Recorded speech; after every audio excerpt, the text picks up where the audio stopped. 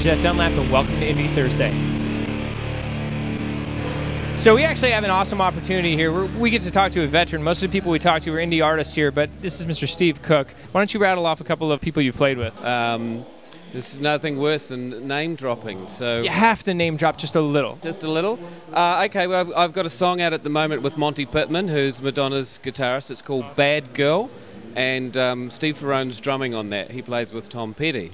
Yeah, I met him at the HMMAs too. Great guy. Yeah, that's right. Fantastic guy, wonderful uh, Englishman. So it's a little bit like Britain, Texas, and Down Under getting together and mixing it all up. You know. what advice would you be giving to indie artists who are, you know, right now, for instance, today in this industry, as opposed to maybe, you know, 10 years ago? Okay, I'd say the number one thing for any indie artist is to be honest. Write about what's actually happening right now. And uh, that, I think that's really critical rather than, you know, trying to copy other people or, you know, you have to think to yourself, uh, we're in a pretty crazy place in the world at the moment, so the last thing we need is some more wishy-washy love songs, you know. What I'm looking for, uh, especially from the United States of, the, of America, is the next wave. You know, where, where, where's the next Dylan? Where, where's people writing songs? Where's the rock and roll revolution? You know, bring it on. Come on, Uncle Sam. Say the next Dylan, and I've always been curious, especially with someone who's been in the business as long as you. Could Dylan come about today with YouTube being a launching platform and Justin Bieber being the biggest thing in the industry right now? Do you think that that is a hindrance on real talent, the way the industry's set up today? Yeah, I, I think you've hit the nail on the head. If uh, America's cultural answer to the crisis that everyone's living through, Occupy Wall Street, all the rest of it, is Justin Bieber goes country,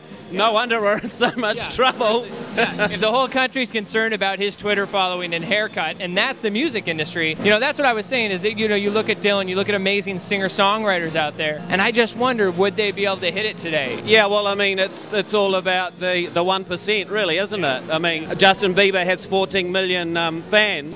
You know that pales into insignificant when you look at the fans Jimi Hendrix and Led Zeppelin have got. You know. You know, I mean, you look at the flash in the pans today, and and this, the true singer-songwriters, the people you're talking about who are singing from their soul, I think, and I, I'm looking for your information on this, they, they had something that just spans decades. Yeah, that's right. You know, uh, a lot of the music is timeless. Right. It really is timeless. Like you even go back to Bill Haley. You know, Rock Around the Clock. Yeah. I mean, you put that record on, it still sounds great. Yeah. Uh, and when you listen to some of the music, you know, especially in this millennia, it's dated because of the synth sounds, you know, and and the cheesiness of a lot of the recordings, the digital stuff. I mean, all the kids think you can make music on a Mac. Well, I can tell you something. Bill Haley, he had no Mac.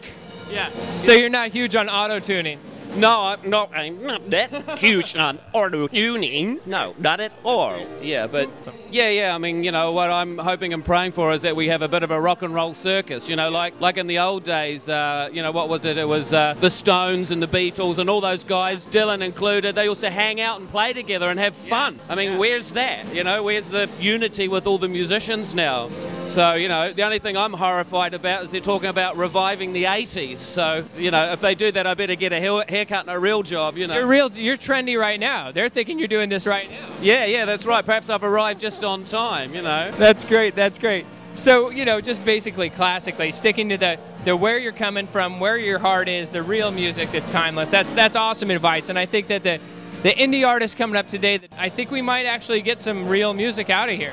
No, no, I agree. And I mean, I think if they look at the roots, you know, and the, from the 60s and the early 70s, especially 72, 73, I mean, what wonderful roots to have, you know? So, uh, Well, we really appreciate you coming out here and supporting Indie Thursday. Always a pleasure talking to you. Thank you so much for your time. Take care. God bless.